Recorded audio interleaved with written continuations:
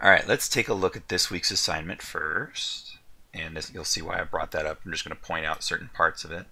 Uh, so this week's assignment is just going to be transitioning into drawing full bodies, but without any of the muscular construction just yet. We're getting the base full body. And so that's going to go back a few uh, assignments to the bean body is going to be one option for that. So you can draw a bean torso if you want to for that, or you can draw an egg and box torso, which would be the one before the bean, I believe. Um, our final uh, resting place for that is going to be a little bit further on, where we're going to change the bean torso into a robo bean, um, where it's sort of a more constructed egg and box, but that would be a good place to start if you wanted to. Uh, we're going to use a simplified Loomis head, which means just the ball direction and face wedge. Uh, and if you want to indicate where noses and ears attached, then that's fine. But you really can just treat that as uh, two-dimensionally for now. Just a big C shape for ears, or if you're a little bit more familiar, it's sort of a, um, a semicircular kind of wedge shape. And then for the nose, same thing. You can just have like a wedge sticking on the front if you want to, but no real details. We're looking for just kind of the underlying construction. And then cylinders for the upper and lower limbs um, to mimic the bones, and so meaning thinner. And the hands and feet can kind of be whatever you want for the moment because we haven't covered that in any kind of detail, and so you're just going to have to make do for the time being. Okay. Um, any necessary props, so if they're holding onto a stick or a rope or something like that, but leave the clothes off, leave the hair off, leave the details of the body off. So we're looking for sort of a really advanced stick figure. And I'm asking for 30 of them this week. So that's the bad news. Bad news is that number's pretty big. The good haters. I don't. I, I love you guys and I want you to be strong, and so I'm making you uh, drink your milk, and so your skeletons can get good and strong for the skeleton army at the end of October. Um, 30 of them is a daunting number, but break it down by how long you have. You have an entire week. If you did five every day, you'd be done, you know, before you hit the seventh day. Uh, if you did 10 every day, it would only take you half the week. If you did 15, you'd only have to do two sessions. Okay, so you guys can do How- this. How big do you want them? I don't really care about big. I need to be able to see them. But if you, how, what are what size paper are you drawing on, Lydia? Um, um, I usually use the sketch or the one that you um ask for the big one. 11 by 17. Yeah.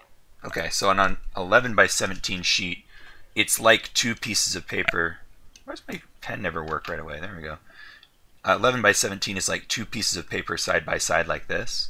And Okay. so if if you're going to draw sufficiently large, I would say you could divide into one, two, three, four, five, six. So six, but you can't divide it into five. You might be able to do nine per page, maybe 12 per page. Um, and this would be the entire 11 by 17, right? I know I'm doing it kind Yeah. of sideways. Or if Um, it's a single piece of paper, then probably like just nine. Okay. Yeah. Because I have another 20 to do for my other class. What other class? my, my painting class. And, and they're making you paint 20 people? No, paintings, different things. Oh, I hope they're simple. That sounds like a lot of work. No, they're not. Oh no. Uh, well, good luck to you.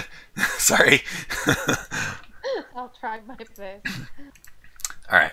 So that's what we're doing this week, and of course, I've got the link and recommended settings for the Quick Gestures site if you guys are using that. You can find your reference from other places if you like to, but that one's a nice, convenient one. I recommend not spending more than 10 minutes.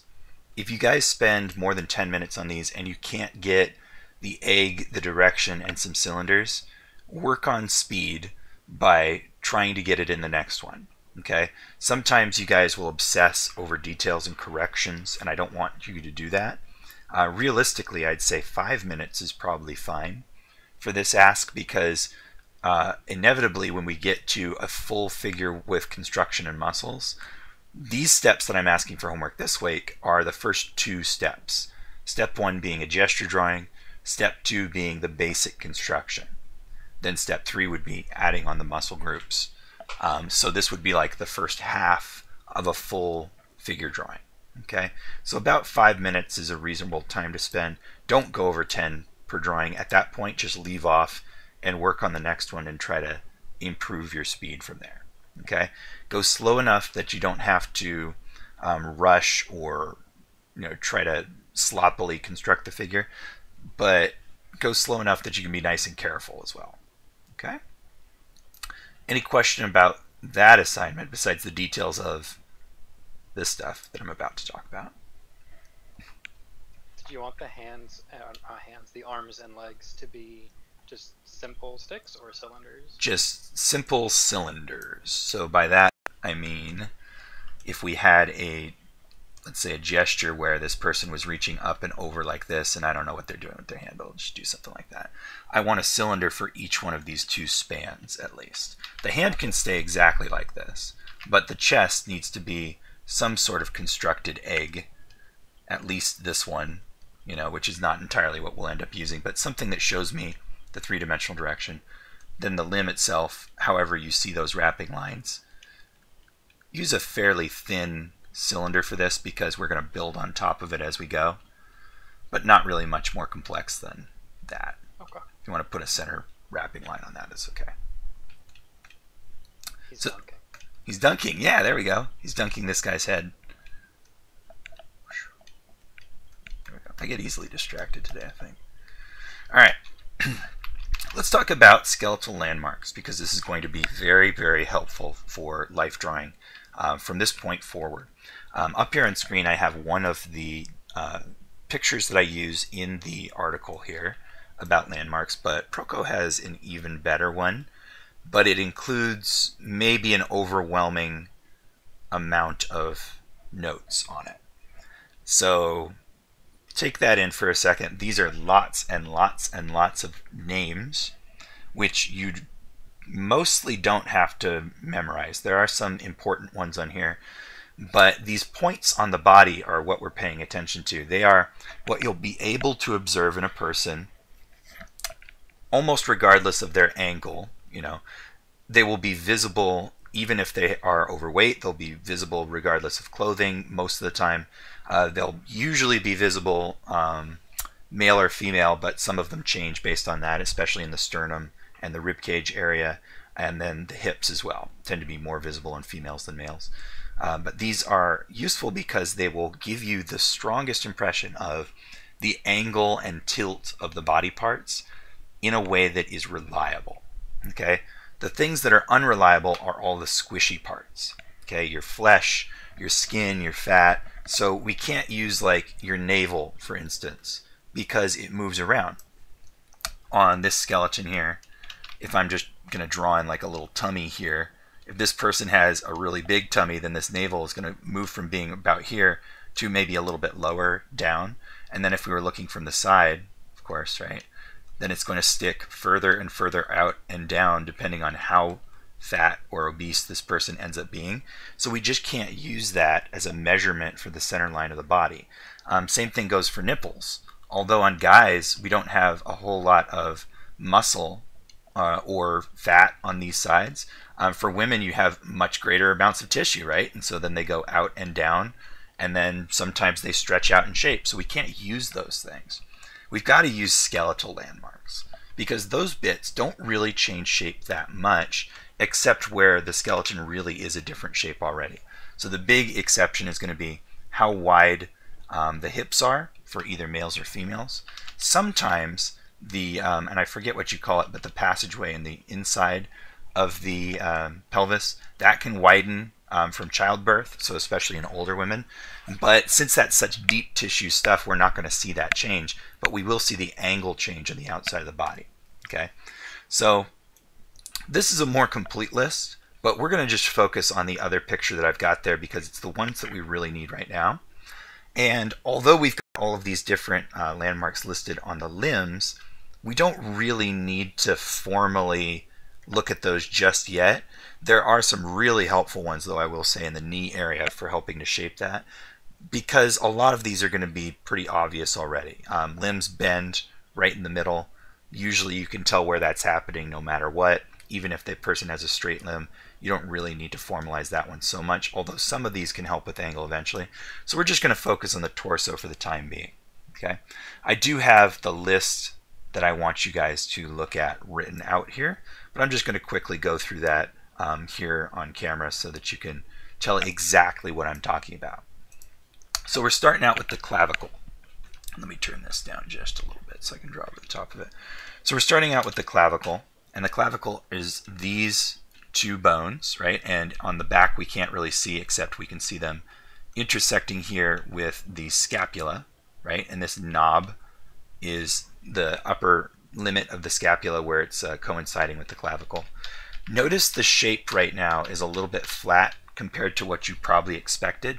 When you think of a clavicle or a, a uh, collarbone, you're probably thinking about something like this, which is true if you look down at it, right? So if you're hovering above, and let's just say like the person's skull is here, and their nose is here, and we're looking down, you can see this, you know, directional change. But from the front, it's flattened out quite a bit. Usually you can see just a little bit of it.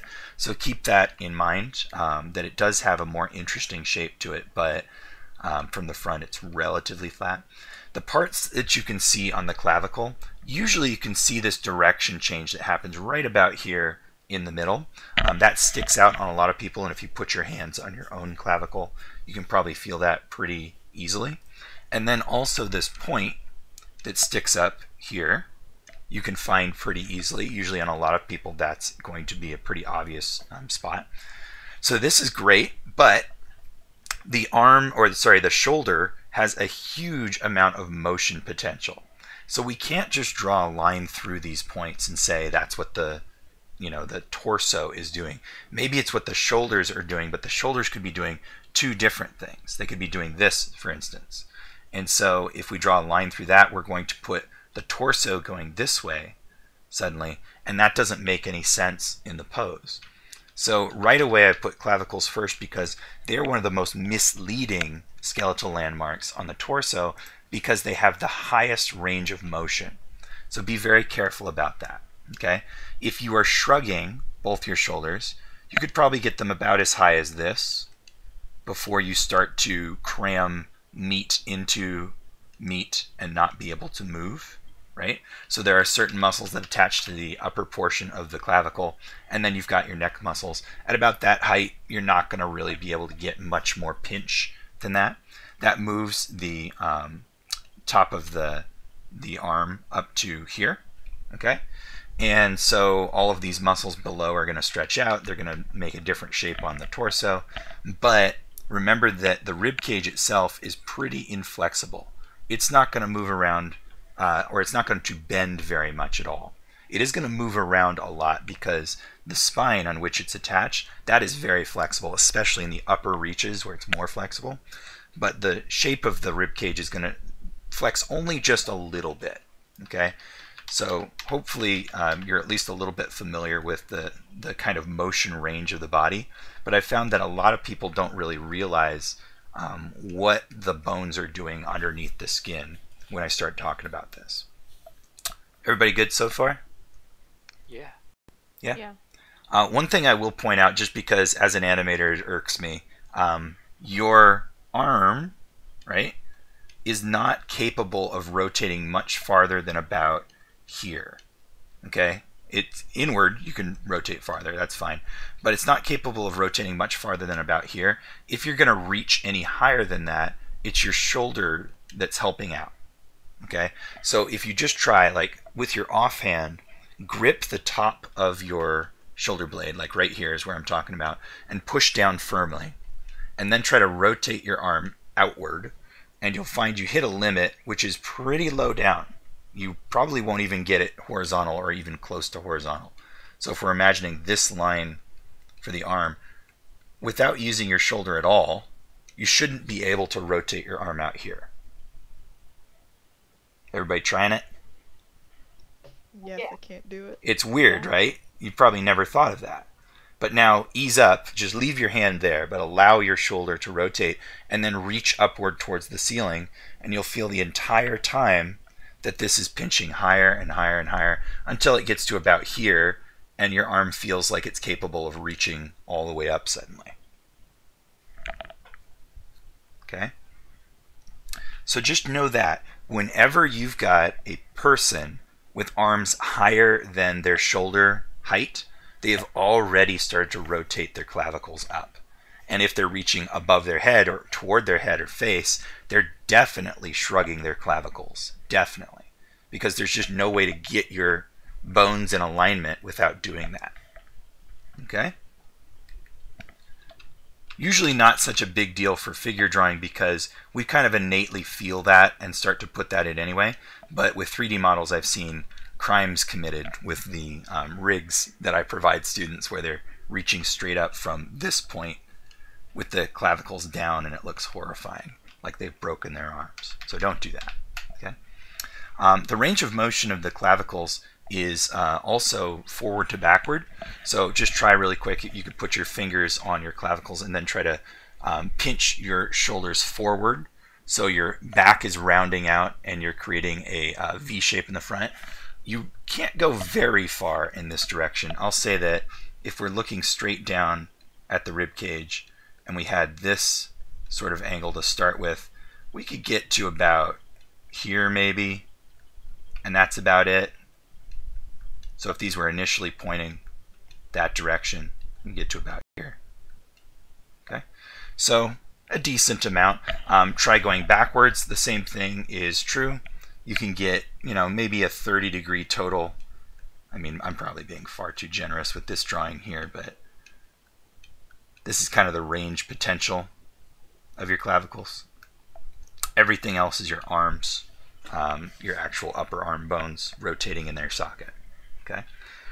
The reason for this, that we've got that huge potential, and by, by the way, this is like one of the biggest motion ranges for any single bone in your body. I mean, it's probably matched by the humerus um, in that you've got a huge potential there, but I would say this one's probably even larger because we are based kind of around the idea of using our arms and our dexterity in our hands for everything that uh, makes us viable as a creature right? So think about like um, we come from an ape ancestry, climbing, swinging, carrying, throwing, right?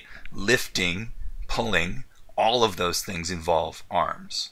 So human beings are based partially around our arms and partially about around our upright walking posture, which we'll get to when we get to the lower back and the legs. Um, so we've got a huge amount of, of potential motion for our shoulders because of that, we're also going to discover that there are tons of different muscle groups connected to these um, shoulder bones, which means that they are kind of a complicated area. Okay, um, this range of motion is matched on the back by the scapula, which are these two triangular shaped bones. Right. Most of the time, what we can see from the outside is the inner ridges of the scapula where they're pushing it against more meat, and sometimes a little bit of the top, but then of course this notch we can also see.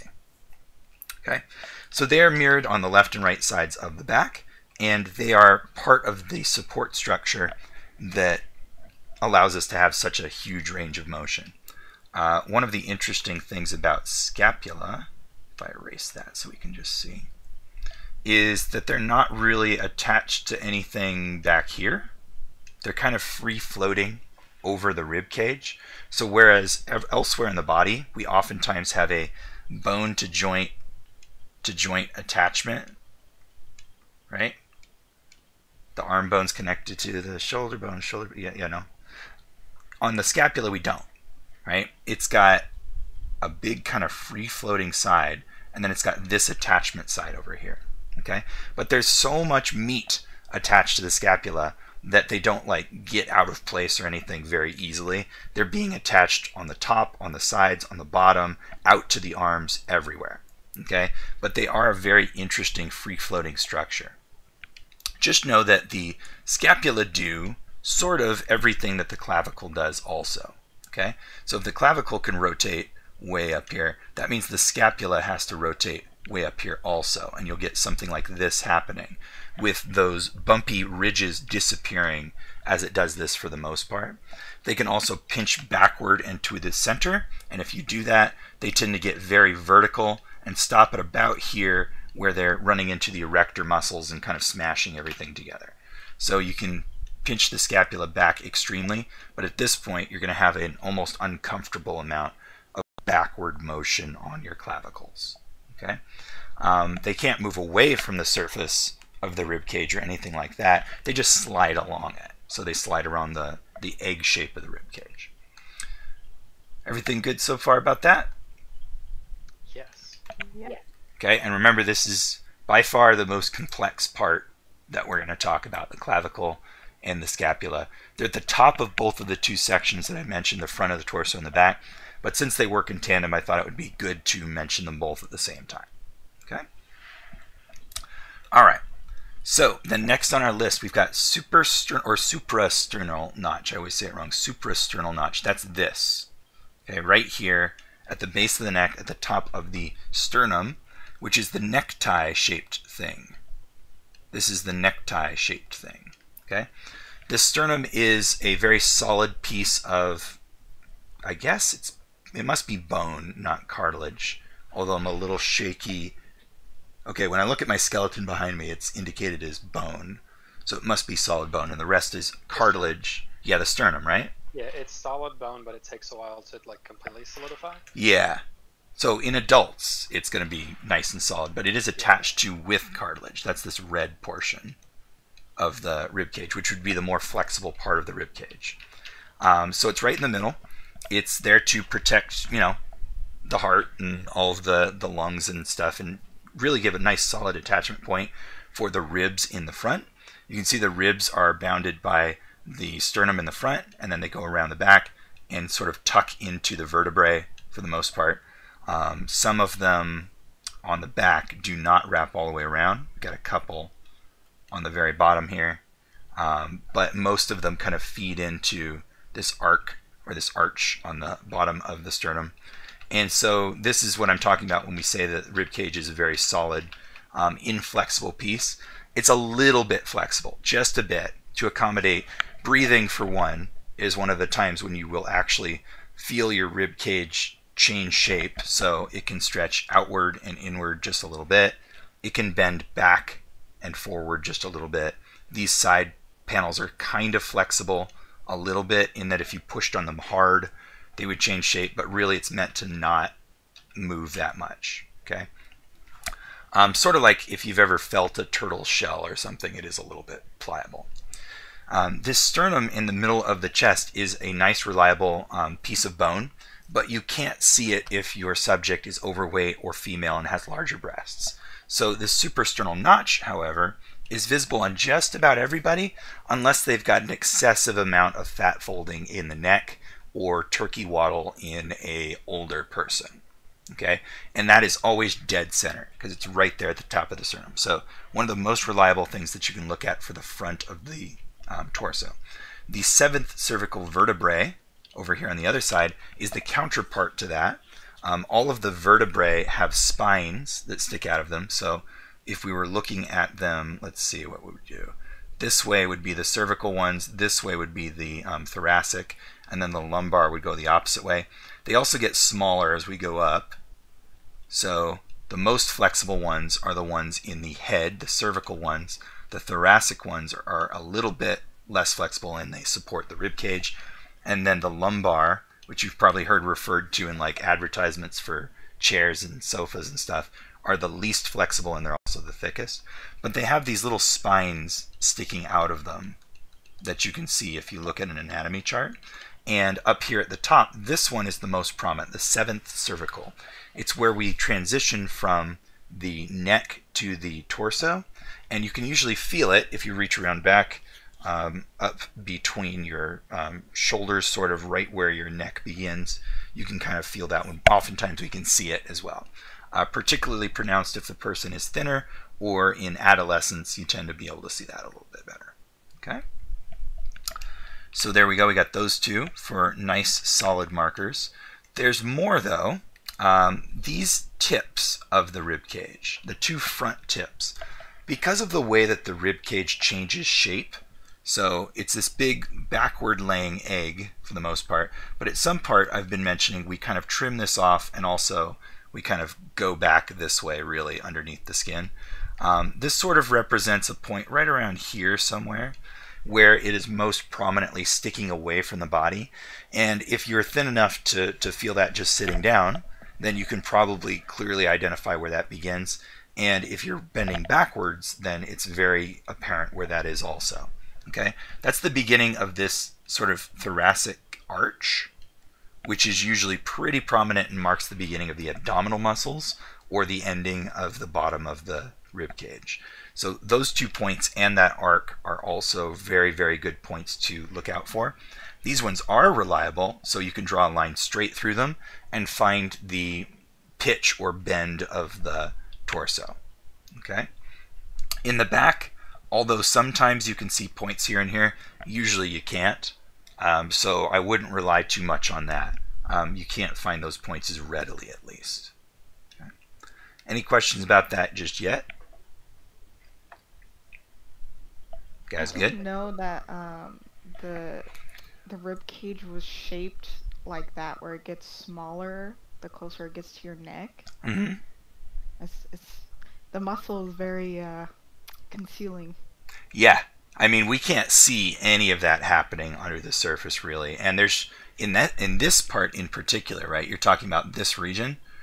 There's absolutely no way you're ever going to see that, right? Even your armpit is the closest you ever get. Hold your arm straight up, and then over your head, and then feel into your own armpit, and then go down a little bit. You can kind of grip the very bottom portion of your scapula, in addition to some latissimus muscle and then in between that is as close as you can get to your rib cage up at the top. It's a pretty painful thing to do to press into that area because there's just no larger muscle groups left. But yeah, we just never see that that kind of transition way up in there. Anybody else got comments about that? And then also, of course, there's guts and lungs and stuff inside of there, but your rib cage is lower down in your back also and that whole area is basically empty except for muscle and, and organs. Uh, so the bone ends right there.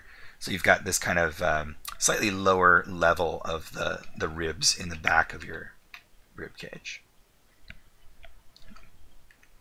Cool. Is, is this um are these drawings on um under module on? Yeah, yeah. So if I, I'm looking at it right now, in fact, uh, they're the latest module, the skeletal landmarks, and then we'll um, we also took a brief look at the homework assignment for this week. But yeah, they're all in here. Okay, thanks. hmm And the links lead to um, the Proko website where he's got even more detailed uh, illustrations. Oh, awesome. hmm All right. So that's where we are so far. So take a look at for those two points in the front of the rib cage. Um, I'm looking for what are the points called. Tenth rib tips is what they're called on the Proko site. I've never actually named them except to say that they're part of this arc. They're the two foremost points of that arc. And also, you can think about them as kind of the two bounding points for the abdominal muscles, which sort of attach within that arch entirely. Okay. Um, another kind of interesting thing is that you sort of get a triangle created by the most reliable points on the torso. So you get this one, this one, and this one. Those three kind of create a triangular relationship between them, and that's pretty reliable. The shape of this triangle is not going to change too much except by um, the way that the body is bending or twisting. So you can pretty much rely on that. It's not going to stretch because the rib cage is stretching. It's not going to compress because the rib cage is compressing.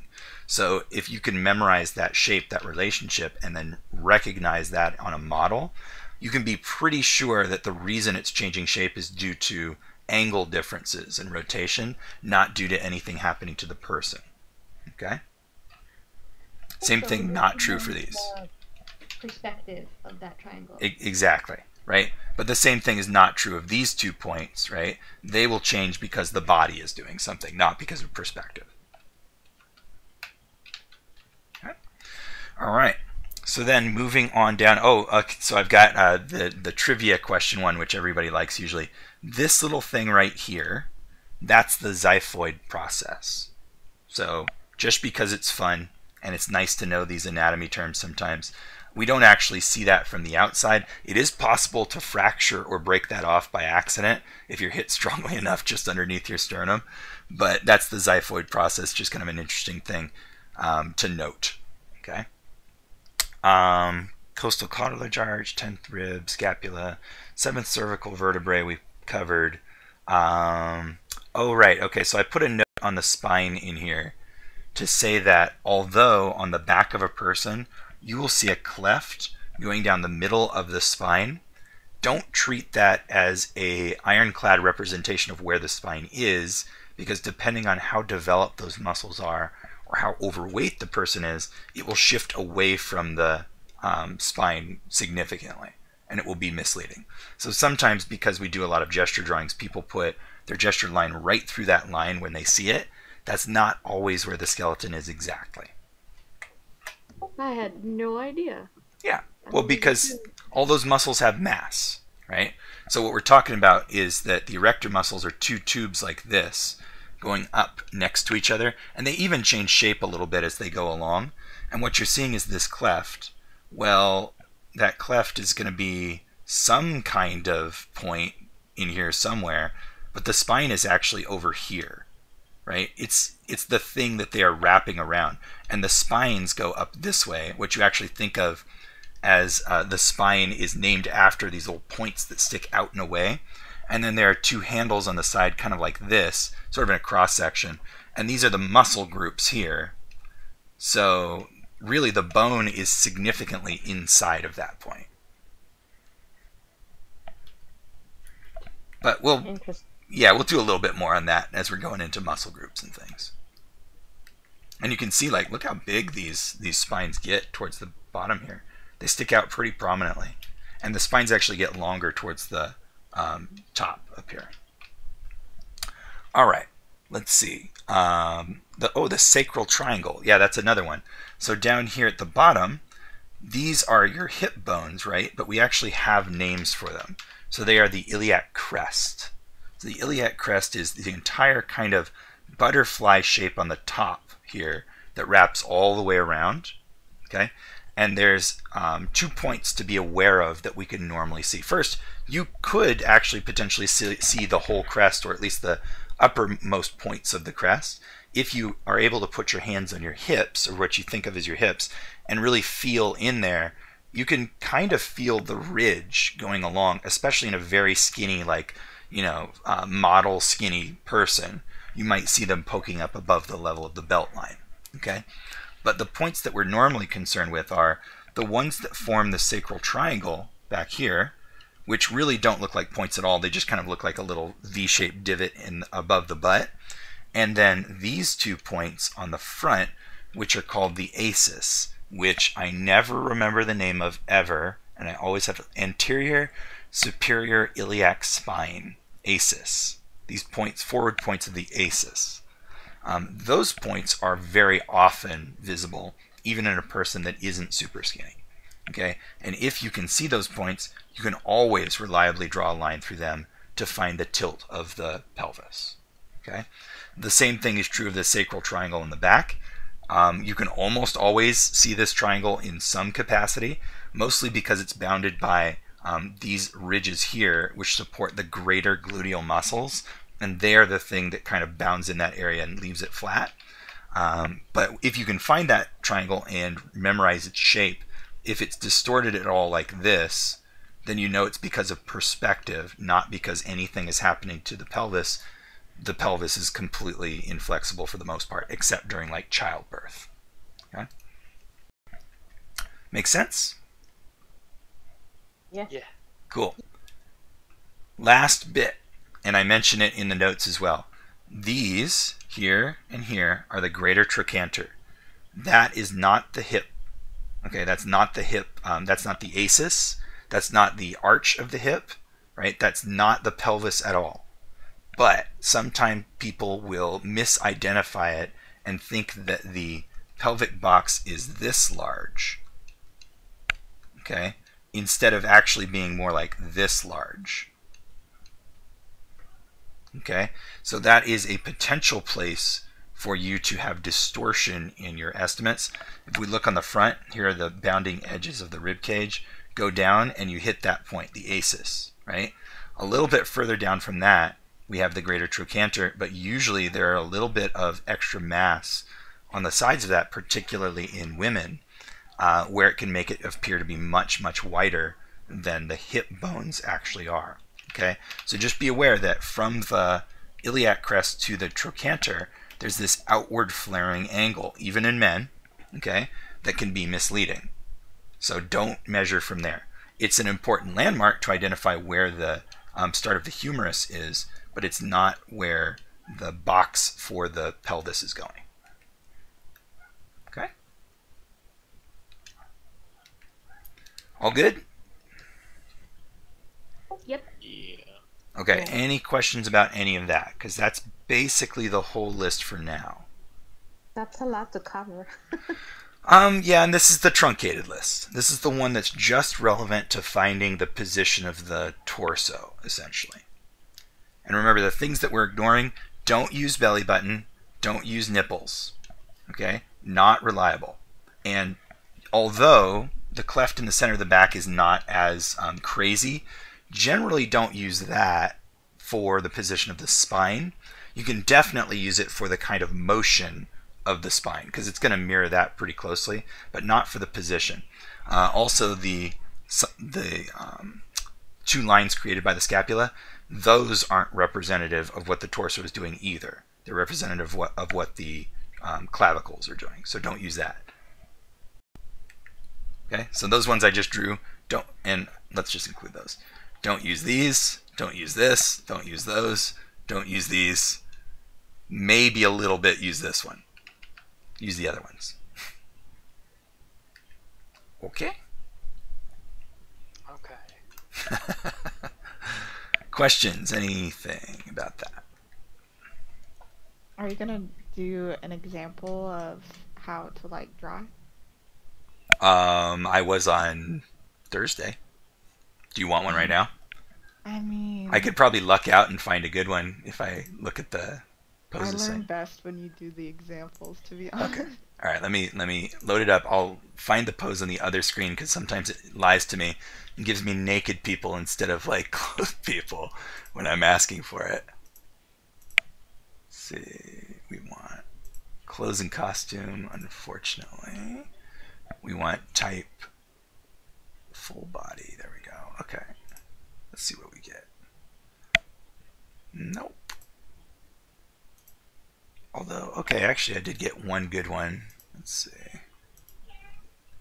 Oh my god. Guy's holding a shield up over his whole body. That one's easy. I think these are all going to be closed, so I can show you guys what I'm looking at. Can't see anything. Can't see it. Well, you know what? We can almost see the suprasternal notch there. Almost. I just know that that tendon right there is heading towards the suprasternal notch. That's how I know that. Um, you can see it in her. See that? That's where it is, right there. So these two tendons form a V. They point right to it every single time. Trying to see in her hips. Can we see anything? Not really. No chance. Um, you can see clavicle heading up over to this point over here. You can also just see it underneath there.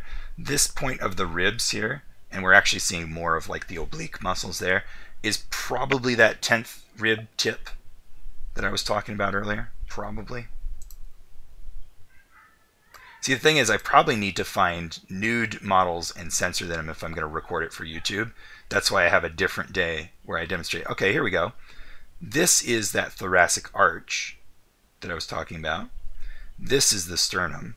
That is definitely the suprasternal notch. You can see the clavicle extending upward to facilitate the arm motion. Okay. Down there, deep in the pit of the armpit, is as close as you'll ever get to the rib cage uh, on the upper part up here, unless it's right here in the middle, potentially. So these two points, boom and boom, do give a very strong sense of motion for this. Unfortunately, in the back, and she's twisting so much, the um, triangular, the sacral triangle is probably right here, right now, which we can't see because of her dress, but I could draw over this one. So I think I've gotten like, so far in this entire list, like two or three that I could use to draw. Let's look at the list and see. Okay, this one, which we've seen before, clearly see that front tip of the rib right there. Okay, very, very easy to spot that. We can also see the pinch happening in the back with the scapula, but it, we're at such an extreme angle, we're practically looking at it sideways, so it's not much help. Sacral triangle is going to be about here, but we can't really see it. Okay. Unfortunately, for some reason on her, we can't see clearly the iliac crest, though I can tell you with pretty much 100% certainty it's right about here. But I can't really actually see it. So, eh, unfortunate. Um, this is the guy I was complaining about. Yeah, very helpful. Thank you. um, let's see. Her costume kind of covers up the sacral triangle, unfortunately. So I thought maybe there was a chance there. Although we could see um, greater trochanter. Remember that point that I was talking about? That's basically right here. Although I think she's thin enough to kind of make it a little bit misleading. This outward sort of bulge in the leg, that's kind of where the um, greater trochanter is for the humerus. So that's one. You can almost see the seventh cervical vertebrae as well on that one. Um, where was the other? So I'm going to use the ballerina, and I think her. Could I see anything on this guy? No, not really. Sort of can see the clavicle slash um, uh, scapula uh, notch here, but I don't. I don't really think that's what it was. So I can draw over this one. Oh, this guy. Oh, you know what? Actually, we can see the thoracic arch on this guy, despite how much clothes he's got on. And because of the um, sternocleidomastoid, we can find out where the suprasternal notch is, which would be right about here. So I guess I could use that one as well. All right, let me grab these and throw them into Photoshop real fast. So that one, and this one, and where'd the ballerina go? There we go. All right. There. Here. And here. So, did you want me to draw based on these pictures, or did you want me to trace over the picture to show where anatomical things are happening? Over the picture. Yeah? Okay. Go right here, make them as big as I can. And then where's the third one? Alright. So then, get this up at the top. So this would be the thoracic arch right here. We can tell that because these two muscles, they go from ear to the suprasternal notch, are right here. Look how short that sternum is right now. Do you know what that tells us? The fact that that's right. It tells us that it is leaned backward because this line is incompressible on our skeleton. You can't squeeze it. It's not going to happen.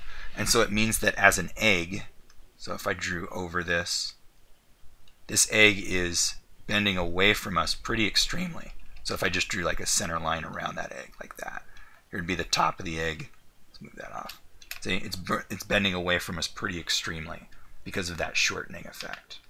Um, although by the time we get down to his belt, that's not really happening anymore.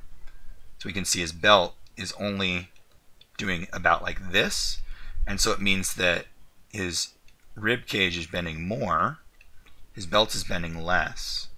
Okay, so his pelvis is not really doing the same thing. Does that make sense? Hopefully. Yeah. Yeah. Okay.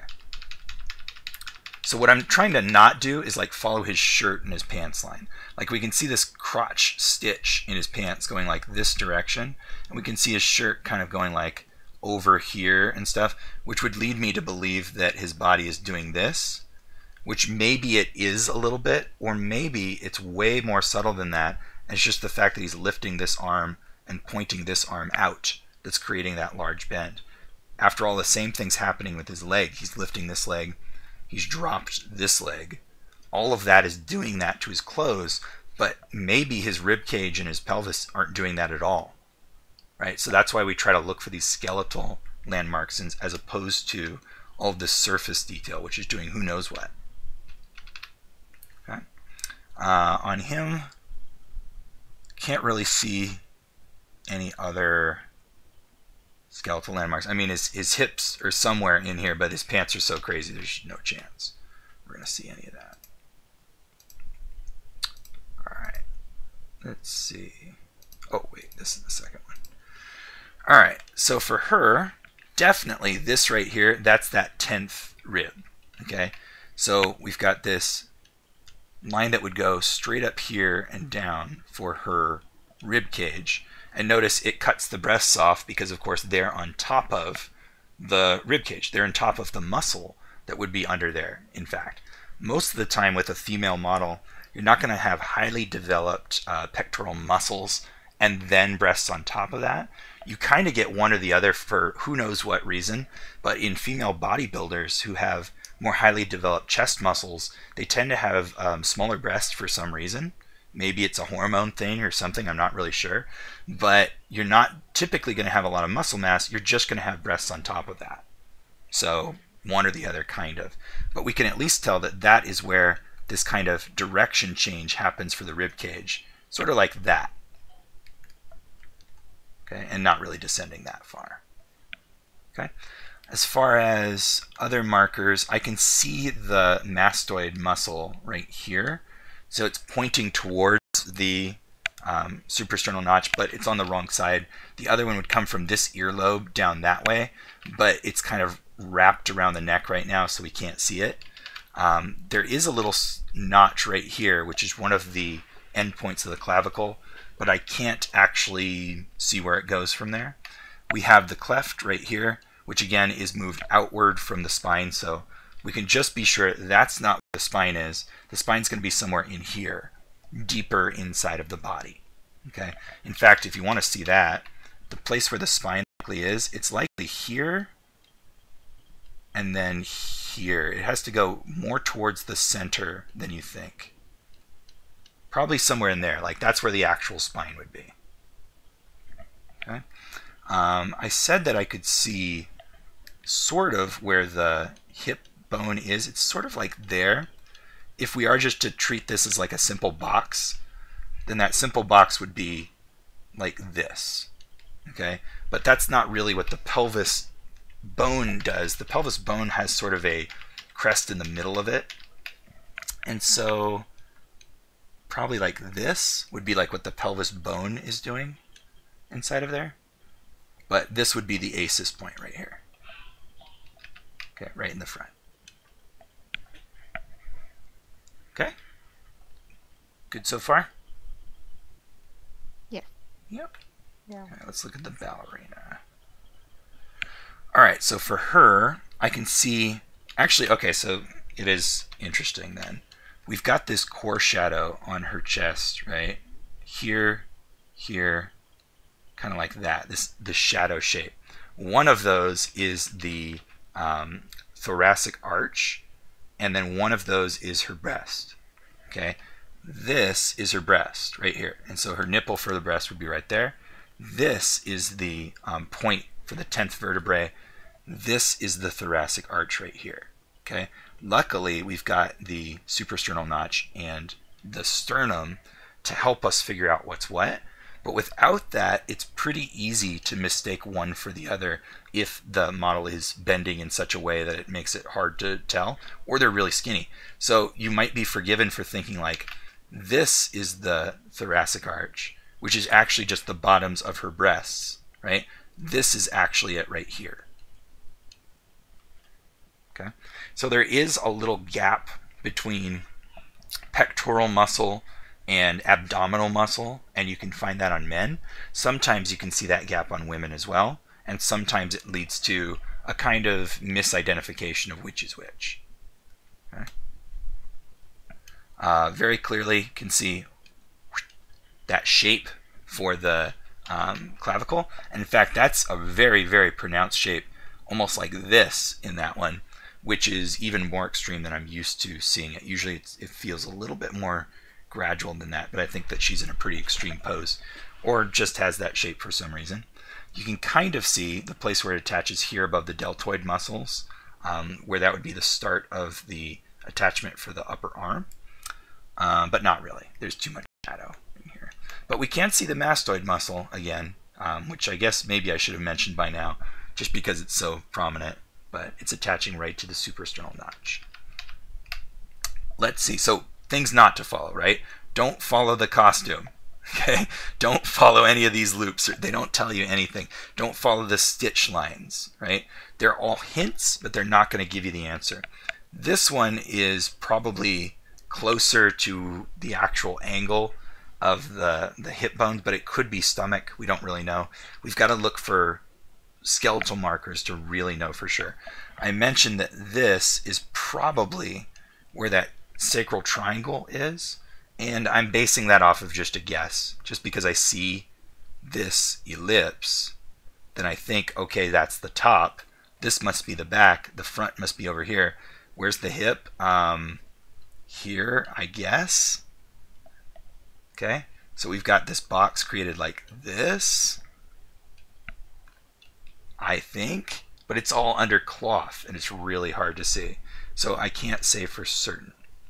Okay, you could definitely place it somewhere in that region and be correct enough to execute your drawing though. Okay, all that makes sense? Yes. Helpful? Hopefully? Okay. All right. Then in terms of this lecture, that's all I wanted to cover. And then I want to take a look at your guys' Loomis heads from last week. Oh boy. Okay. Any further questions about landmarks and this week's assignment, which is to draw 30 full body figures? Do you want us to mark all of the landmarks on the things we're drawing, or just draw according to those? I would I would love you to mark them and leave them marked where you use them. Uh, typically, that's going to end up being like um, suprasternal notch, the points of the ribs, sacral triangle, maybe the seventh cervical vertebrae on the back. You don't have to mark like clavicles and stuff like that yet, or trochanter. Just the things that help you position the, the torso and the, the uh, pelvis. Only to one body. Is that a question? Yeah. Whose question was that? Say it again. I was asking, like, what exactly do you want the drawing to look like? Okay, so described here, right? A constructed torso, which is either the bean torso or an egg in box. Simplified Loomis head, which means ball and facial wedge. And if you want to add on an indication of ears or nose, that's up to you. Don't do hair. Cylinders for the upper and lower limbs, right? Intended to mimic the bones, meaning they're going to be thin and long, not beefy like the actual armor leg is. And that's it. Okay, thank you. So essentially, what people will do sometimes is they'll look at the arm and they'll build a cylinder like this. Okay, and I don't want that. I want this cylinder. Okay, so not this, because that would destroy all the purpose of learning our constructive method. That's where all the actual meat construction is going to go eventually. So it's sort of like a modified stick figure in that way. Be about that thick. Do we not do uh, cylinders for the legs? Or do we not do Yeah, legs? the whole body. So you're going to do one for the upper leg, you'll do one for the lower leg, which I can't see here, but you know, you'll indicate where the feet are, however you're best capable. Something like this will be fine most of the time, or you know, if you see the foot actually doing something more complex like that, but we're not being specific about that. Hands, do your best. I haven't really talked about it yet, but just some sort of triangular, you know, shape like that, it's going to be fine but I care more about the things that we actually know how to construct. An egg for the rib cage, or modified egg for the rib cage, a box, right, for the pelvis, Okay. and a Loomis head. So, however, I'm capable of doing that quickly.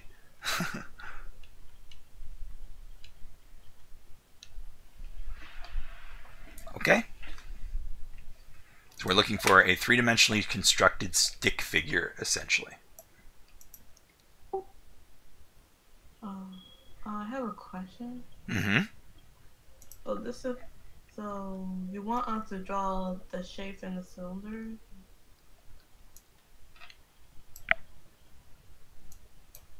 Yes. Okay. It's right here in the instructions, guys. Okay. Not the whole skin. Um, specifically say to leave that off, right? So leave off costume, leave off hair, leave off fat, leave off breasts, leave off muscle, in fact. We're talking about just the base cylinder for the upper and lower limbs and the egg or bean for the rib cage and the box or bean for the pelvis in addition to a Loomis head, simple Loomis head. This is the, the base that we will put all of our muscle groups on top of. Okay. Okay? Okay. Any other questions about that? We good. All right. So I'm going to review you guys' Loomis heads. Um, would you guys like me to stop recording or keep recording? Which would be most useful to you? Keep recording. Yeah? Mm hmm Sure, no preference for me. Sure. Perfect. As long as nobody objects strongly, I think that's probably the better option because then you can look back at it. All right. Who would like me to look at their stuff then? I would. Angel. Gotcha. Take a look. All right. This is pretty decent. And I'd say this number three looks pretty nicely constructed all by itself. I think the proportions on the side plane are fluctuating just a little bit. So the number two, the straight to the side one, that seems right on to me. This one on number five, it seems just a little bit big maybe, and number three just a little bit small. So try to hit that consistency where you're getting the same proportions every time. For my preference, I would say I prefer three, but really it, needs to be just a little bit bigger to kind of mirror that Loomis head properly. I'd say three just because it looks more like what I expect a, a skull to look like, but that's kind of treating it preferentially. The angles Okay. look pretty good though, I gotta say. Uh, let me take a look. Number four, they're getting a little bit um, strange in that if I drew a line from here over to the other cut, I would expect an angle something like this, which means that, yeah, so we're getting kind of a, a flattening of that angle as we go down. And then by the time we get to the chin, it's it's no longer doing it. You'd need to cut this part off. See how like even when I add that line, it looks a little bit more in perspective. Just that line right there. Yeah. So the angle kind of wandered as we went down the, the chin. Let's see the other ones. Cool. Yeah, I mean, in this chin you got right on. Uh, you're tending to make the the chin just a little bit too pointy on these. Uh, allow it to be a bit thicker, kind of like the distance between the eyes. I mean, I know that she's got a very rounded chin, but almost that wide. I, I guess I did a little bit too much. More like here. Okay. Just a little bit more. Let's get back in there. Um, it's looking pretty good. Let's see. A little bit fatter on the ellipse that you're drawing to get to the center of the eyes and to get to the lower, uh, lower portion of the nose. It's looking like it's flattening out a little bit. So maintain a nice round ellipse when you're doing that.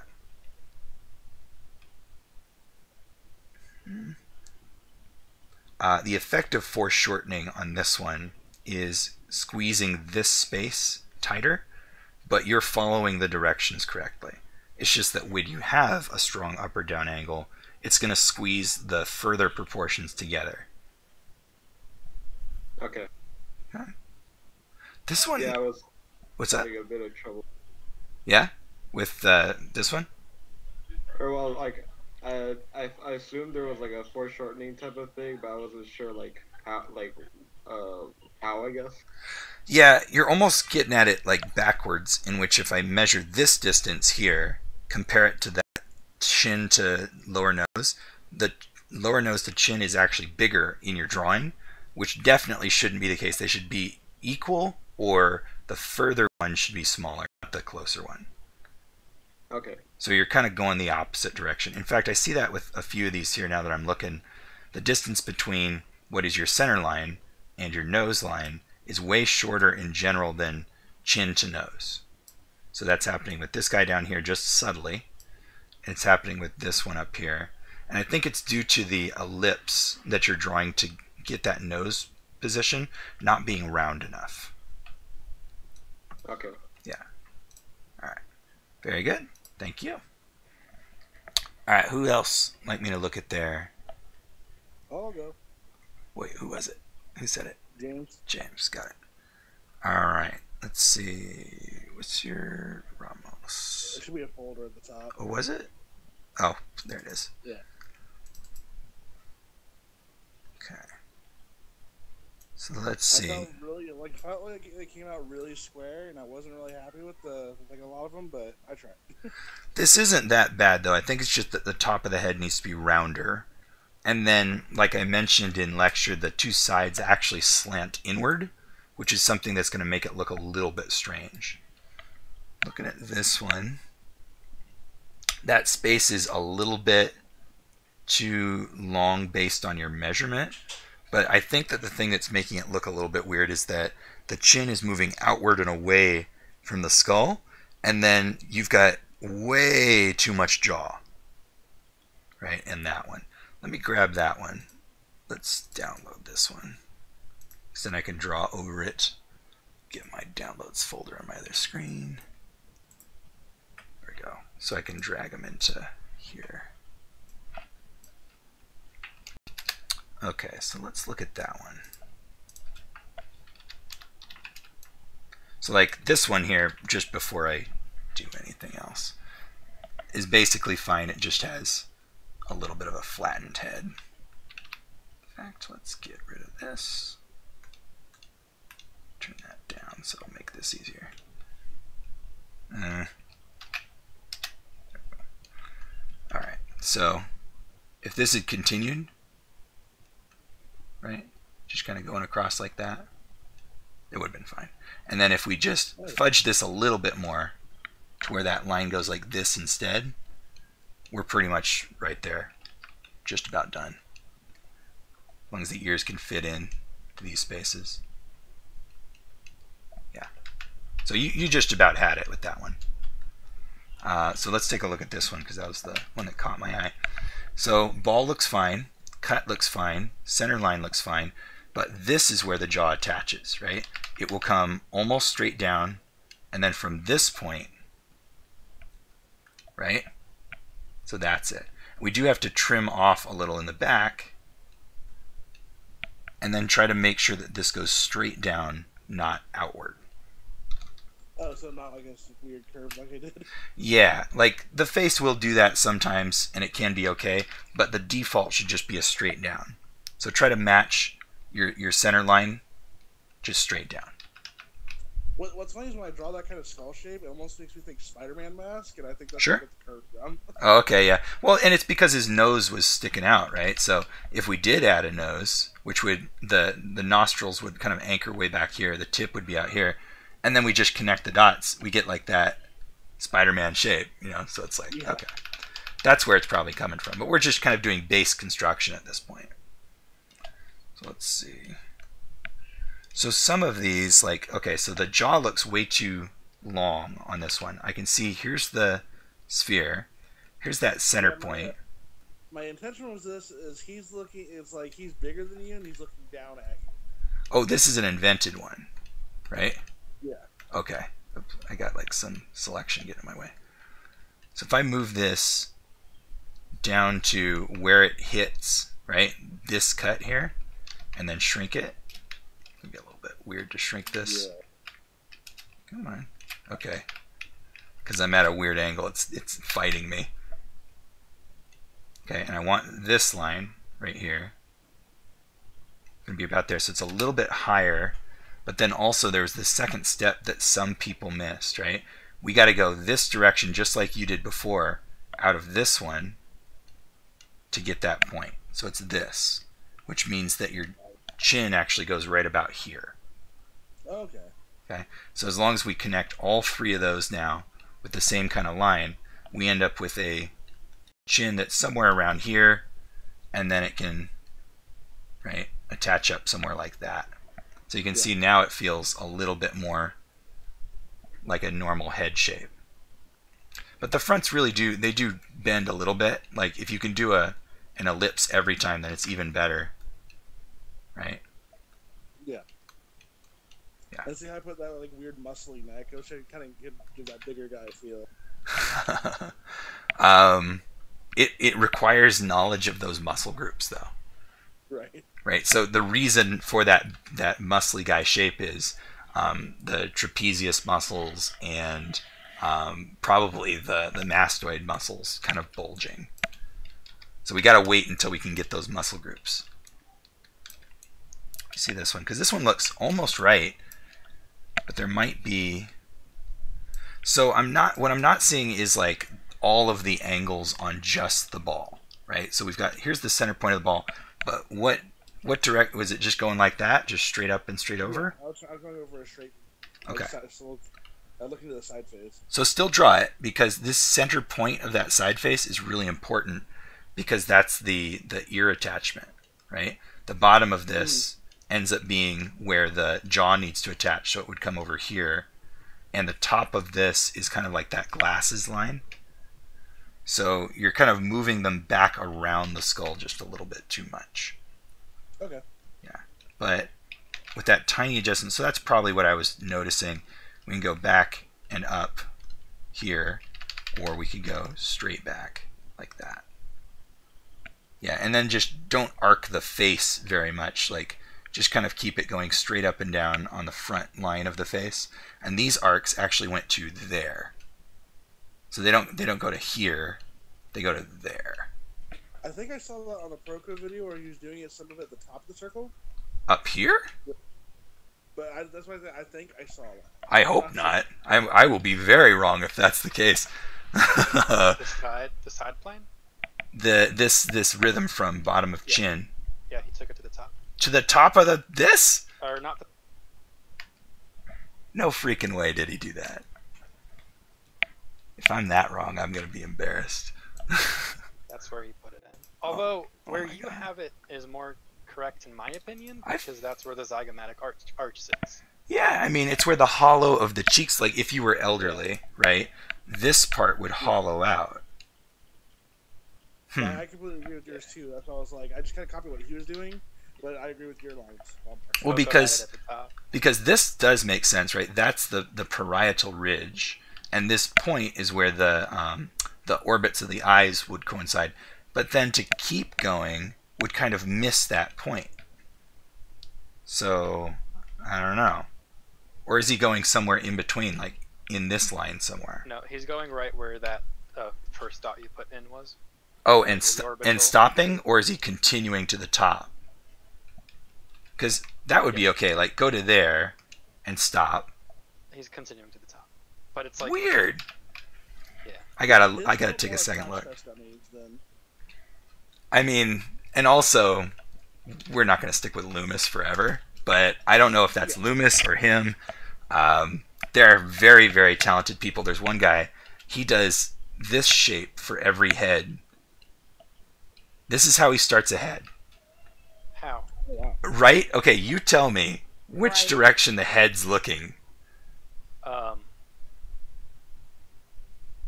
left. Yeah, that's the face line. And I don't know what this arc is. But he eventually like plumps it up and puts the perspective in there and like it literally looks like you've chopped off pieces of it until he starts constructing it up and it's really really weird but the guy is super talented so it's like not all the systems have to make sense to everybody i'm sure he's got some good reason i have no idea what it is but yeah it's a different Yeah, artist yeah, it's- it works for him. Yeah, I mean his stuff looks great too. So who knows? All right. Um, did we look through all of them, or let's see?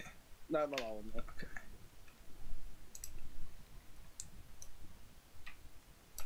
Okay. So I think you're you're still looking a little bit too superficial. You're looking at like all of the wrinkles and muscles and stuff and trying to represent that. Don't pay any attention to that. Just use this as an angle reference for, you know, a Daft Punk helmet, basically. Because Yeah. that's how we're starting out. We got to build all the rest of that on. So in this one, I can clearly see that his head is rotated to the right, but in your drawing, it looks right in the middle. That makes yeah, sense? No, I, like after I made like the initial parts, I was like, yeah, his head is kind of crooked. and his head is tilted to the right also. So not just rotated to the right. I found that because his nose is farther to the right than to the left. Also, we can see more of this ear, but it's also tilted, as in his ears and his eyebrows are uneven because his head is angled slightly to the right. So we're missing all of those subtleties. Okay, so try to pay attention to that. Um, Okay, so you're kind of twisting this one around to face us a little bit, whereas the side plane of this Loomis head would come all the way out to about here. Okay. It's it's a huge amount. It's almost facing directly towards us.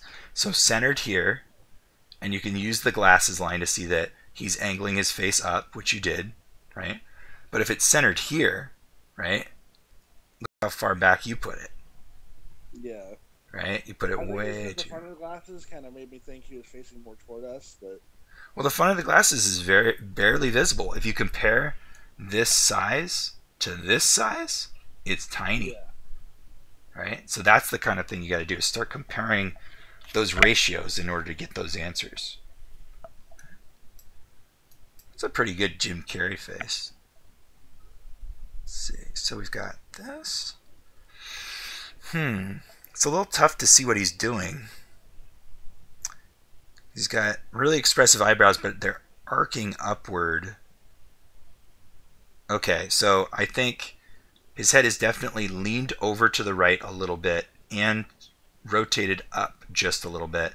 So we're kind of looking up into his skull just a tiny bit. Our eye level is somewhere around his jaw.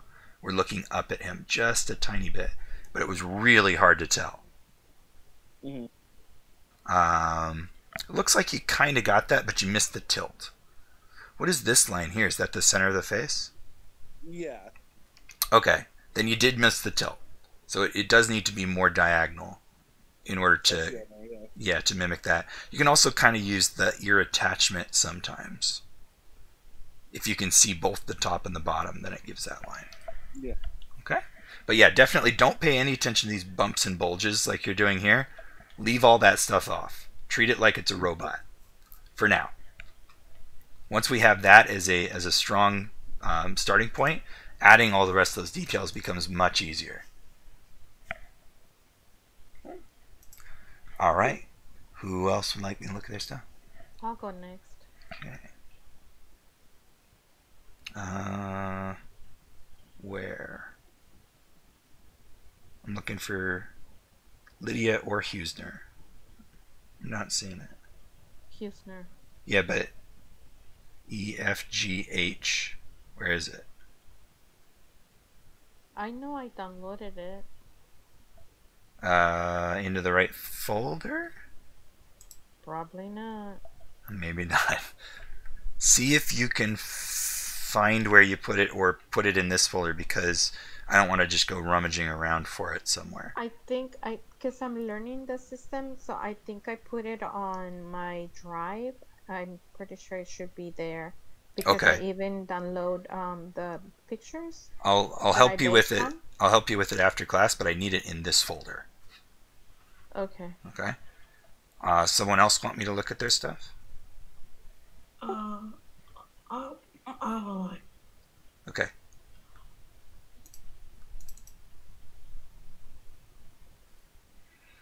All right. Let's see. They're not bad. Let's see. So this one first, just a little bit short and egg shaped for the initial circle. Right. The initial circle has to be a bit rounder than this. Uh, let me actually download this one because this would be a good one to draw over as well. And let me see what your second one looks like. Okay, yeah, I'll download both of these. Take a look at them. All right.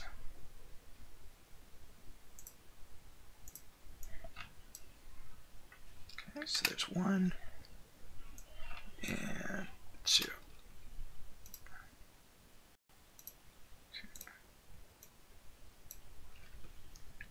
And I'll turn off all that stuff so I can. Alright. Let's take a look. Alright, so how you can make sure that this is a nice round shape, like if I'm going to draw a sphere over the top of this, it's going to be like that different. Okay, so what you got to do, use a measuring tool, right? Grab it, rotate it, and then we can see. Right, so we're missing a round shape by about this much. Okay, so make sure you get that first. That said, this cut is actually more round, so you still got pretty good proportions there. We're just missing a little bit of the skull. So if I continue this around, that helps a bit. Okay. Um, you missed the baseline of the nose. Baseline of the nose is supposed to come from this cut here, right? So this would be brows to nose right there. And then if we duplicate that, we end up getting chin right there. Okay, that would come back slightly and attach to the bottom of that cut. It would be more like this. Make sense? Yeah. Okay, and the reason that looks a little bit odd, like on top of this, is because if we continue the sphere all the way down here, it always is going to look wacky if we do that. It's going to look completely crazy. A real skull would cut off somewhere around here. Okay? Okay. Alright. So let's see. You are also kind of bending the face. Don't bend the face. Let it be a nice straight line. You've got this as your pitch line for your head. So from this point, it should be that same straight line out. So that would shift your chin back outward. Um, right now, it looks like his chin was receding back into his head a little bit.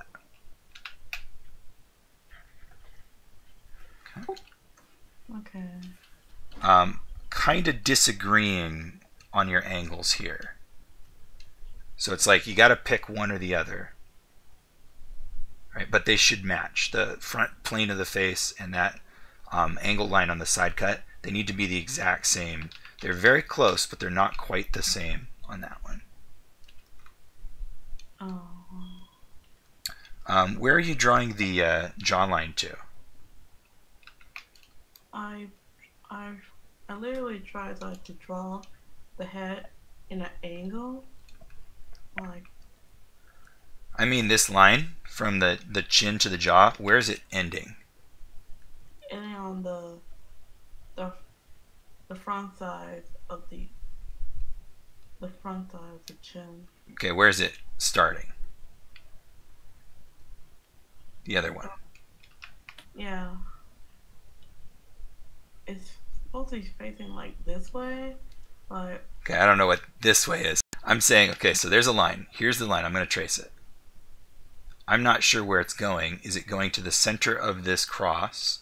Is it going to the bottom of this cut? Or is it going to like the back of the skull? um, the to the straight line. A, B, or C? B.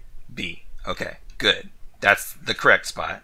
However, on a lot of these, I see it going way below that cut, far too far down.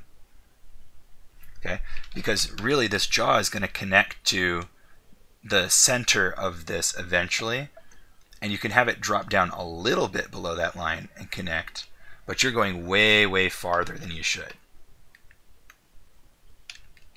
So like here, you're like way below even the, the way too large Loomis circle.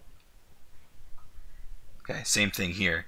You're like another another um, half of that cut below the end of the, the side plane.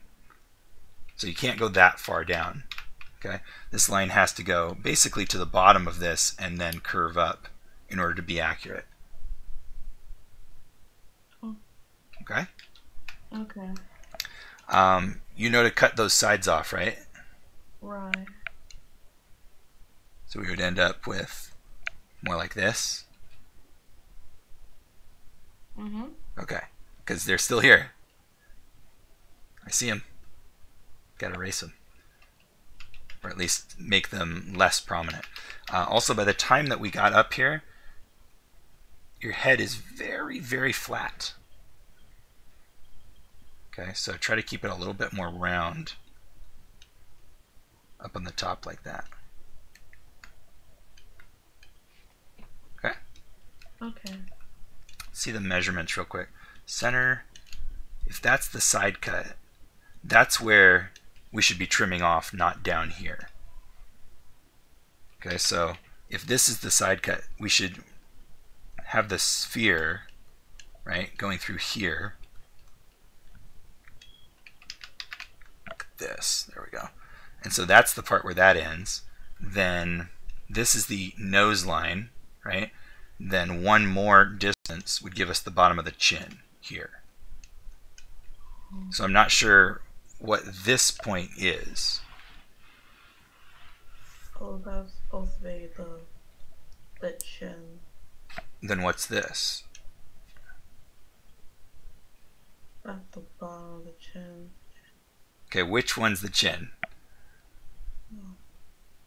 Because you can only have one chin. If you're talking about jaw, we don't have a measured angle for the jaw. We only have the end of it, which would be where this side plane terminates. Oh. So, like, technically, I could just do this and say job well done, even though that looks bizarre. We shouldn't really do that. Right? Right. That's why we have a sort of pseudo angle for the jaw where we almost reach that line and then we go up. We almost reach that line and then go up, but it's just a little bit, very, very small amount here. Okay? So all told, once I get all of those things adjusted and properly erase out this, we end up with something a little bit more like that. Okay. Okay, so you're you're extending the jaw way too far down right now. Hmm. Okay, let's see this one.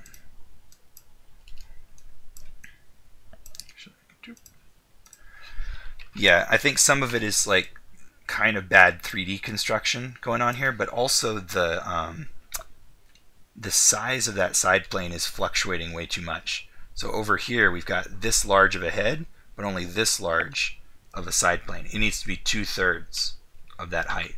So it would be more like this big. So that size is just way too small.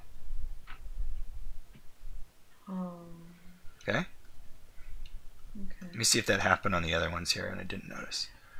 Um, it's happening a little bit, but not as extremely, and so I didn't really make any mention of it.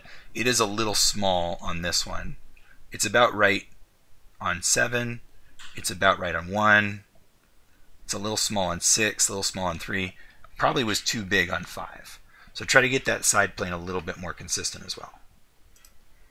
Okay. All right. Thank you. You're welcome. Anybody else? I'll take it. All right.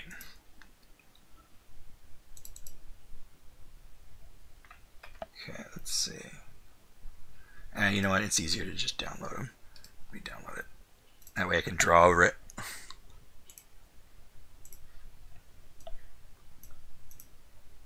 I will tend to try to put notes in the Google Drive folder if I can, but it's just way easier to draw over the top of these. All right.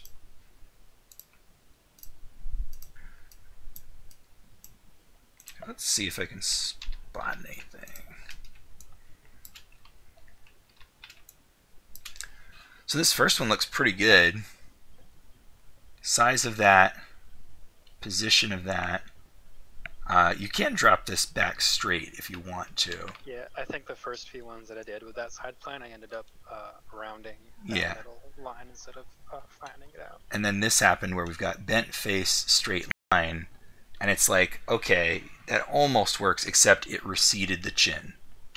Right? So just don't do that. Once you got that point, we need to follow that straight line out so that we get a more prominent chin, and it's going to give us a slightly more satisfying look. You can see just the tiny, and I'll, I'll go up here where you did, but it feels weird to me to do that. So small adjustment, but it just kind of made the, the chin feel more three-dimensional. Um, front view, yeah, it looks right on to me. hmm Yep. Side view, maybe just a little bit too far this way. Um, because these tend to be two different planes. One of them goes that way and actually attaches to the neck. The other one goes this way and at some point turns into the rest of the jaw. It can go here, here, here, sometimes. Most of the time I'd say it would go straight back just a small ways, then all the way up. So just a little bit too deep I felt that point was. Uh, this one's bending too. It's just because you're following this elliptical line across the face, and the face shouldn't work that way. So just bring that straight down. You're going to get a prominent chin. At that point, it'll fix a whole lot. I think at some point later down I caught on to that, but it wasn't like Like this one. yeah. Yeah. And this one. Actually, this one's the best one, too. So by that point, you were getting used to this system, I think. That was the last one I did. Yeah. Uh, I can't see the sphere any longer that you started with. I erased it. Did it do this? It wasn't that far out to the side. Did it do this? Yes, Okay. I think so. Bring this a bit further back then. Okay. Because that's why I was kind of not sure because the side cut looked flattened out somehow. So if we get that, and then of course it will dive under, now it looks a little bit more satisfying to me with that little bit of extra back of the head.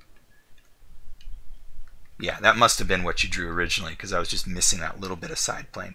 Um, this got a little bit displaced too, just a bit farther down. Ooh, ow, my elbow. So then that would place the brows right there instead of here. So very, very slight difference, but it would have, um, we're all very picky about faces, so it would have an impact. we would all notice, unfortunately, everyone notices everything wrong with faces. And so there's just no winning until you're getting it nearly perfect. Is this the actress from uh, Space Force? I don't know. I think she's the daughter in Space Force. I like your like your masking method also. It looks like a scrapbook. it's kind of cool. Cool. Okay. Yeah. And based on these poses of these actresses too, I think you're getting the angles just fine. I like to be really severe with mine just because it helps with the construction. It doesn't lend itself to like looking very good, but it gives me a strong impression of what I need to be drawing. So try try being a little bit more severe with it. Cool. Very nice. All right. Anybody else? We're nearing that time. Fine, I guess. Yeah. Yes. Yeah, I need some critiquing, please. Um, where am I looking? Sanchez, Eric. Oh, was it Yeah, a I think folder? It was, yeah. Thank you. Yeah, there's there should be. Okay. Yeah, there's. Oh. Okay. Some proportion things. Please tell me. First, it's the proportion, right? That side plane is not two thirds the size of that circle. And it's because, well, okay, so interesting thing happening here. It looks like you were aware of it, but then didn't get the right measurement because all your measurement lines are crooked. Let's see. Let's see. Are you, so you're drawn on paper. Do you have a ruler? Yes. Okay. Do you have a T square? No. Okay, do you know what oh, a, those? do you know what a T square is? No, let me check this out.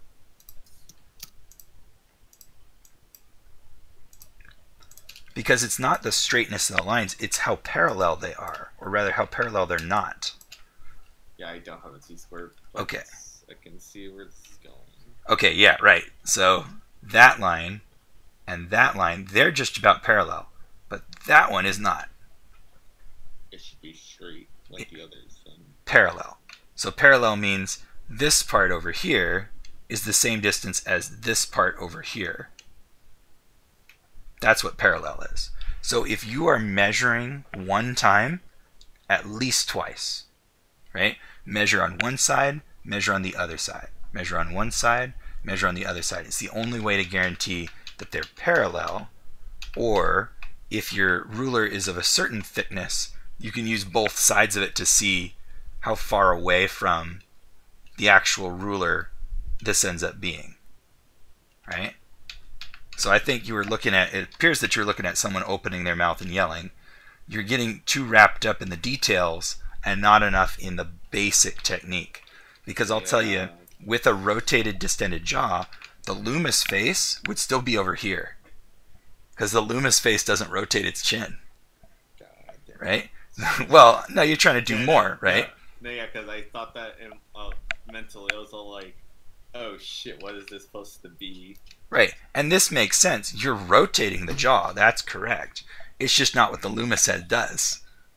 You know? And so our Loomis chin would end up way out floating in space here, which would look weird, but it's what that head does. Accurate. Right. And that's what we're trying to get first is this kind of base level accuracy before we try doing the really complicated stuff like a distended jaw, right? yeah. So first thing, start measuring more. This side cut needs to be like this big Big. right? Yeah. Because then this is two thirds of that original. That means hairline is up here somewhere. Brows ends up being about the same, right? Then this is the nose, which would extend this appearance. And also, the nose tucks into the shape eventually, so don't worry about it for now. Then we go straight down one more distance, and we end up with a chin over here, back to around here. Okay, so it would end up being something like that. In fact, I did something weird. I think, I, oh, I went too far. So I'm getting distracted too. There we go. It'd be more like this. Okay? So yeah, don't don't get wrapped up in details. Try to just do the method to get the nice solid kind of, of technique down first.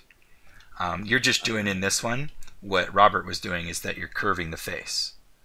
So just don't curve the face, stick to the nice straight line. So if that was your line, um, where's the center of this ball? Center would be probably in the middle where the nose is. Yeah, no, I mean of the ball, right? So the ball is Oh. the center's here, because then I'm trying to get a wrapping line for what you're indicating is happening, and I get end up getting way over here, Shit. right? Um, are you doing these steps in that order? I'm more so just looking at the head and like, alright, the ball should start here. Okay. So, Well, stop then- that. Your intuition's not good enough yet. We got to train your intuition before you can use it that way. So this is what I need first, right? A ball and a wrapping line that represents how much tilt you saw in that head. That's going to give us a place where if we line up, that's going to give me a point. You got to do the technique because your eyes will deceive you. Your brain will tell you misleading stuff because you haven't trained your intuition yet. I can use my intuition because I've got 10 plus years of practice in this technique. Now my intuition tells me what the technique would tell me. And when it's wrong, I'll still fall back on this, right? But right now you're trying to use intuition in place of technique, but you can't yet because you haven't trained it up. Does that make sense? Yeah, I, I see you're going about. So I'm getting the side plane, I'm getting this headline. There we go. Here's the front line of this skull and that center bit. Then I need the same one down here, same ellipse. Here's that center point, drop down. Same line coming forward, same line going down. That would be my spot. That's my end of nose line. one more time. There's my jaw. Okay. Yeah, that seems about right. But this is the same thing that happens with everyone, right? They think that, well, here's how I think it's going, and so all of these bits recede because we're not following that nice structural robotic kind of construction. But when we follow that robotic construction, it feels awkward and weird because like we know somewhere in us that a person doesn't do that, but we're trying to overcome this illusion created by our brains so that we can start to structure these people in a way that's going to make sense on paper. Make sense? Yeah. So, for you, specifically you, be really pedantic about the rules. Be really careful, measure carefully, go slow, all of that. Do not try to use your intuition because it's it's going to mislead you. It's not going to work. Not the same advice for everybody. Everybody needs slightly different advice, but for you, be super pedantic about the rules for now. And try to construct everything very carefully. No, no eyes and nose and stuff. We don't need any of that just yet. We'll work on that later. Do you think I should like, all right, this is where this is all going? Well, yes. Well, for me, I, I was like, all right, let's see if I'm. All right, let me look back to this and look back to that and see if they're accurate enough. Oh, well, that is looking for resemblance. Like com- Yeah. comparing these heads, like I'm sure if we looked at the photographs of these people, the things I drew look nothing like them. That's okay. That's okay. Do they look like Iron Man? No. I, I mean these. Oh, yeah, so I thought you meant the ones that The I. the people. No, no. D- did what I drew look like Iron Man? Like that's all I care about, right? Is it a nice, you know, Iron Man helmet at a at a good angle? That's all I'm really trying to do. And did I look at the person's head angle and kind of get that from there? I'm not looking to get their resemblance. In other words. Because I. Yeah, that's what I. That's what I did. Yeah. Looking, well, we're started looking at the resemblance, and it's like, oh, he doesn't care about that. He just No. wants like a robot. Right? That. That does not look like her. That's okay. Right? This does not look like him.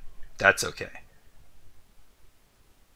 Right? Yeah. They are just Iron Man helmets at various angles that kind of match these people. Almost like they're like a stop motion actor with those like ping pong balls on them. And they're controlling some Tron character. Make sense? Yeah. because we'll build all that other stuff on top. Really, resemblance is the last step in this whole figure drawing thing. We're going to try to just get a person to look even remotely like a person with all their muscle groups as we work. Um, the resemblance part is where you start to fudge all those rules in favor of the ways that people are differently shaped. That's a step beyond what we're even going to do in the class, really. So step one, learn to construct idealistic forms that look nothing like real people. Step two, fudge that stuff so they do look like real people. Cool? Yeah. All right. Very good. Uh, anybody else? We're just about, Uh, would you be able to go over mine? yeah, of course. All right, let's go back here. Got it. Okay. Front one looks just about right to me. Let's see the angles. There are some angles that confuse me, like this big diagonal one, and I see it a few times. Like I see it over here. I don't know what it is. Like, what's that line? I'm not too sure. I did that on Friday, so I'm not sure what I was doing there. I was looking over uh, this first image when I went to do my second set of five, Uh huh. and I just didn't use that, and because I didn't remember why I even used it in the first place. Yeah, and it's the first thing I hone in on because I don't know what it's for. Like, I can't see the utility of it. I know the utility of the vertical line here. And in this one, interestingly, you don't follow your own vertical line. So I'm not sure what happened there. But yeah, the other ones, these other two, I think what you're trying to do is some vague kind of 3D compass, is what it looks like. Like it looks like you started with, well, I see the head going this way, therefore the other two angles must be these. And that's not true. Right? Those other two angles can be a lot of different things. They could be very, very thin, like this. They could be one straight over and the other one coming right at us. They could be like this, even. We just don't know until we observe. So I think that's what's going on. So don't put in any line that you don't have a reason to be putting in, I guess. And let me let me I'll show you what the three lines would be on these.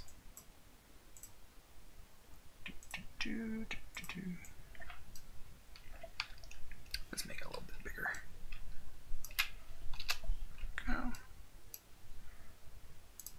Okay.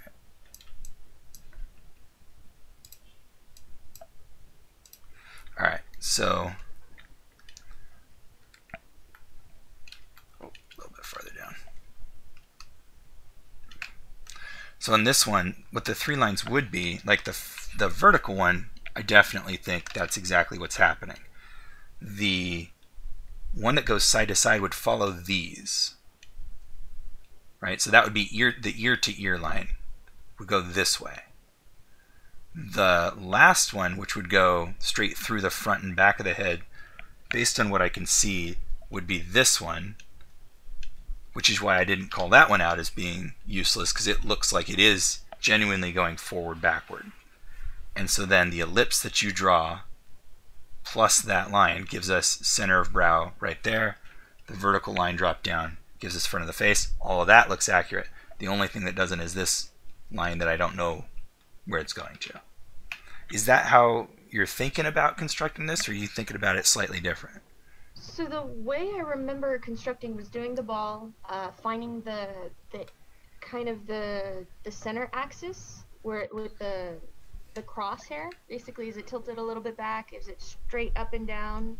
I did the first, you know, well, straight line. was this the- an observation you made then? That I think I did later. Um, I Oh. was trying to find the the ear and the front. I think that's what that was, but that's not even where I put those li- lines. So Okay.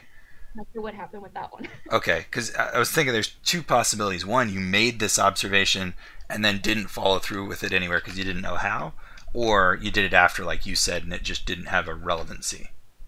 So try to think about it like this. I put in probably too many axis lines when I start these because I like to be really exacting on where everything's going. But you do need the center point and you do need the front. After that, you don't really need this side to side one, I suppose. I like putting it in because I want to keep everything nice and straight, but you'll find it based on the nose, eyebrows, mouth, chin. So then this one, uh, same thing, your jaw is receding. I can see that. Um, the center seems okay. This is the front line, I think. And this is the side to side line.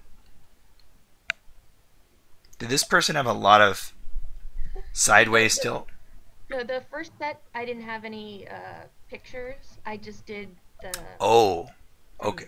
what I wanted to have an angle. I wanted to look kind of upward. So I Yes. So that uh, the second line you did that's going for the forward, uh, that was just the cross angle of the tilt line. So this is ears. not that one. Like this That would weird one. Yeah. this would be the ears. Yeah. Okay.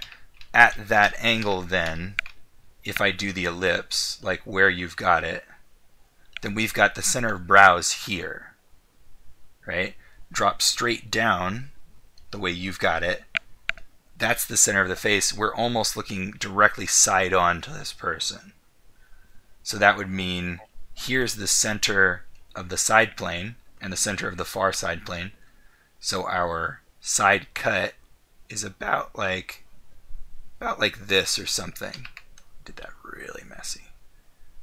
about like this. That's about our side cut. I made it shorter because we've clearly got some very strong tilt in the head. Okay, so cutting off there. That means this jaw. So if I can get this. Okay, so our nose line is about here. So our jawline is about there. And then, yeah, it's just kind of flattened out the jaw, that's all. So kind of like that.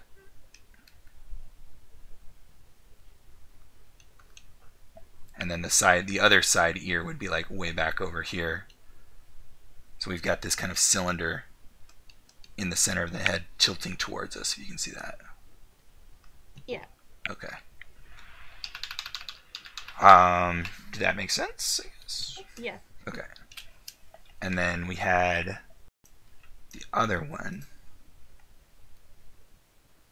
Okay. The the jaws are still receding a bit on each of them. Um, and on this one, we kind of missed it entirely because that's a really difficult angle. So I wasn't sure if I was supposed to do the foreshortening or just go with the Loomis head. So I tried to go more with the Loomis head and keep it straight. But you flattened it all the way out.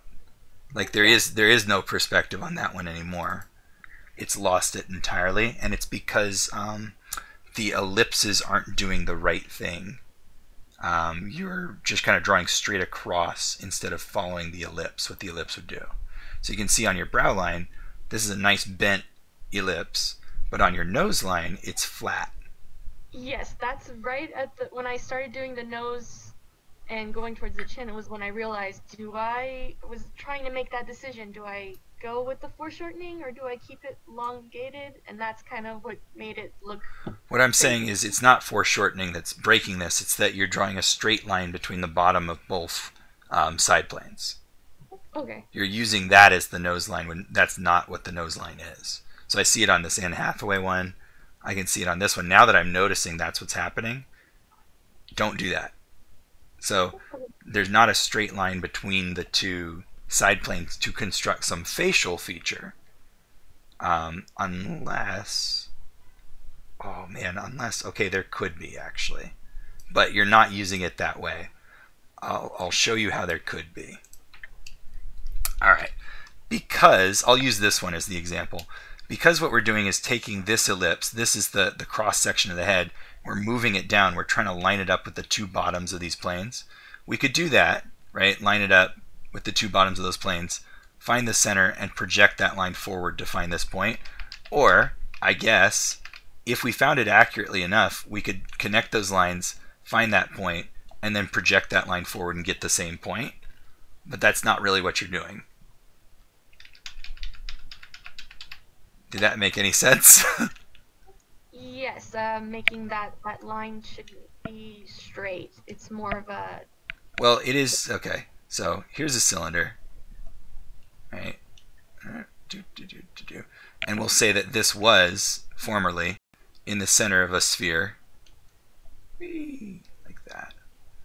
I'm saying that if we find a point between these two, when we already had a point between these two, and we go straight down, wherever the front was from this one, it's going to be the, the accurate measurement from the front of this one too. So it's going to give us the right point. Like that.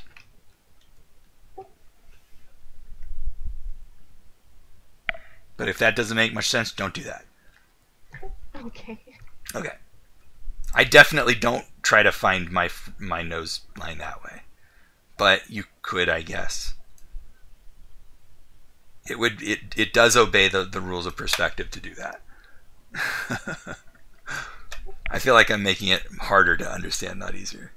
I was prospectively trying to just figure it from the bottom of the ellipse on the side of the head.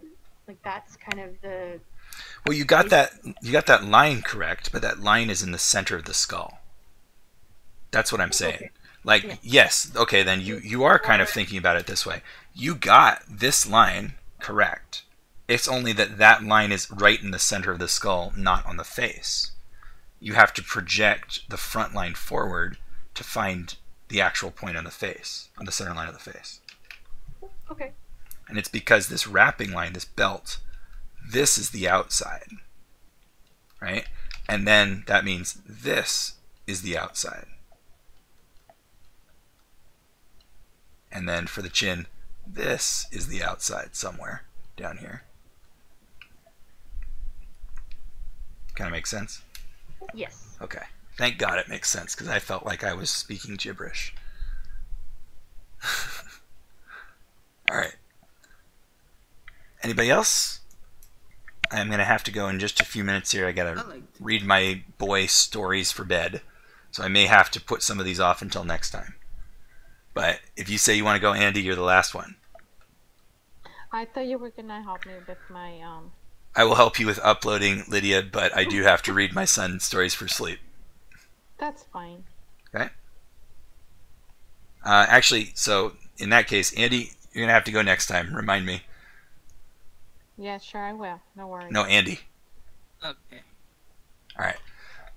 Thank you guys. I'm gonna go ahead and stop, and. I'll